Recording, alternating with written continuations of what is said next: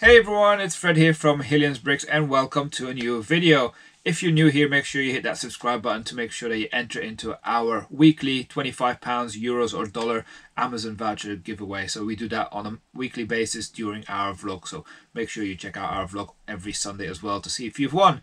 But in today's video, I'm going to be talking about my Lego investment rating. Uh, we're going to be going through a set chosen by you guys. So we run sets through some metrics that we've uh, done. We've actually just done an update, so we're going to be going through the new way of doing that. There was a video I created a few days ago that you can actually check in terms of how the update was done.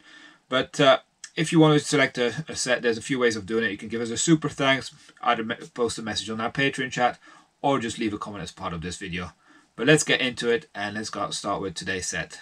And in today's video, we've got a set chosen by Mark Dixon, who's chosen Minecraft set, and it's 21178 The Fox's Lodge. So this set is available for £18 in the UK, and from that aspect, it means you can buy lots of them. So from affordability, we've only given this a one-star rating.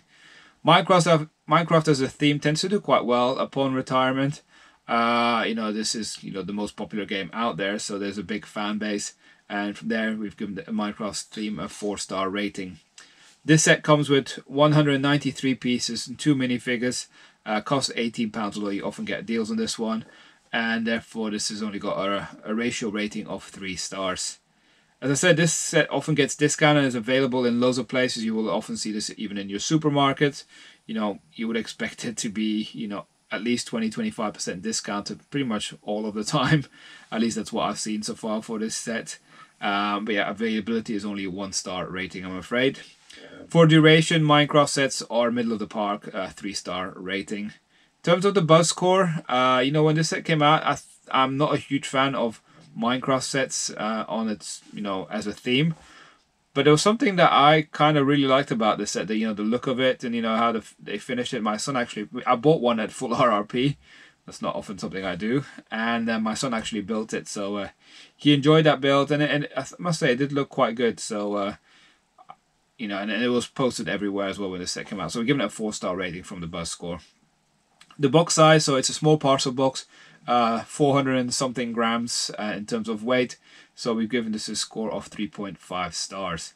So what is this done from an uh, overall score? So it's not a great score. It's a score of 5.465 and generally we consider sets of a 6 or above as worth looking into it.